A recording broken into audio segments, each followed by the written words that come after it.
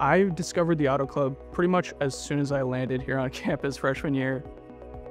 I've always kind of liked tinkering and, and taking things apart, figuring out how things work, but it was really cars that pushed me to get into engineering.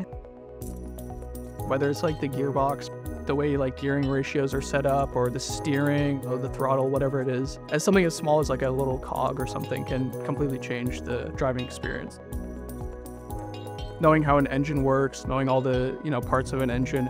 I was mostly just fascinated with how you can take liquid and air and make something go 200 miles an hour. That was always just super fascinating to me. Currently, as a senior, I'm the president of the Auto Club. The BU Auto Club is really just a community for car enthusiasts on campus. We proudly organize all kinds of car shows. We do car meets both off and on campus. We do go-karting events, F1 watch parties, movie nights, more lecture hall style events. I'm most proud of the community. People can just come, hang out, meet people. It's so easy to connect with people over cars. This club can create lasting relationships that extend even past you know, our time at BU. Justin was the first VP of the club. He still lives in Cambridge. I still talk to him all the time.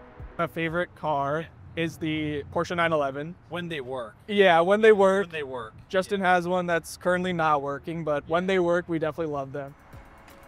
As an engineering student, we have like a whole bunch of classes and labs and homework and everything. We're always swamped with work, so it's always nice to kind of, uh, you know, take a break and, and enjoy stuff like outside of the classroom.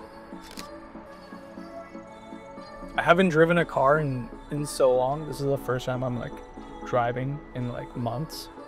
So I have in the back of my mind like midterms this week and uh, all this other like stuff for the club. I really just love, you know, when I'm by myself, like on the road. I love the freedom and the bliss, like the peace of, of driving. And then now being, you know, an engineering student and being president of the auto club, it all just feels like a great full circle and feels like it was almost meant to be.